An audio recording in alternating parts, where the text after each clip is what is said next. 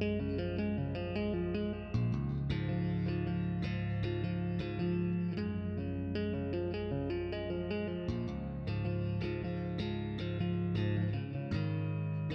Charlie Dorkey.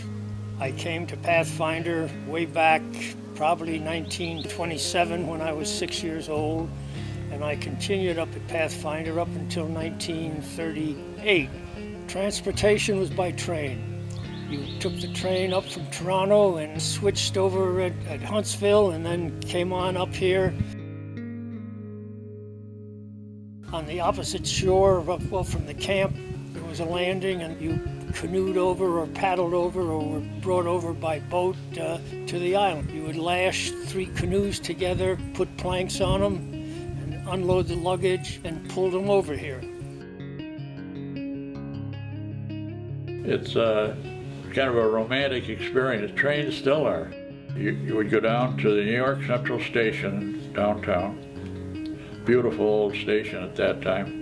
Around 6 o'clock at night, and uh, you get on a uh, what they call the Pullman train, an overnight sleeper train. Of course, I'd never been on a sleeper before, and so it was really that was sort of the, the miracle of the whole thing, you know. We caught a train going north from Toronto up up north, and went right through the park. Before you got to Cache Lake, you go past Source Lake. There's nothing at Source Lake, just a wide spot in the tracks and you, everybody get off and you kind of scramble down the hill. It was a pretty steep hill. I don't know how it is there now.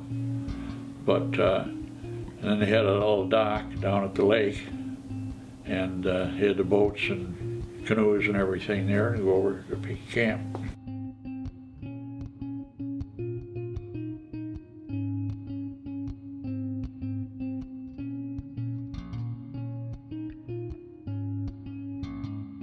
Think the, the real first memory was riding the train up to camp when I was only seven or eight.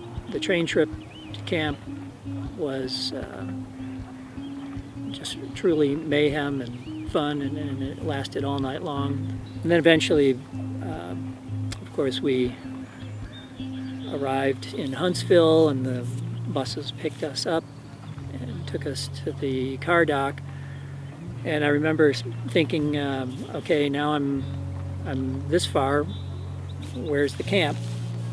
And um, so it wasn't until we actually got around the point and could see the island that, uh, that I was pretty amazed that uh, that's where I was going to spend the next month at least.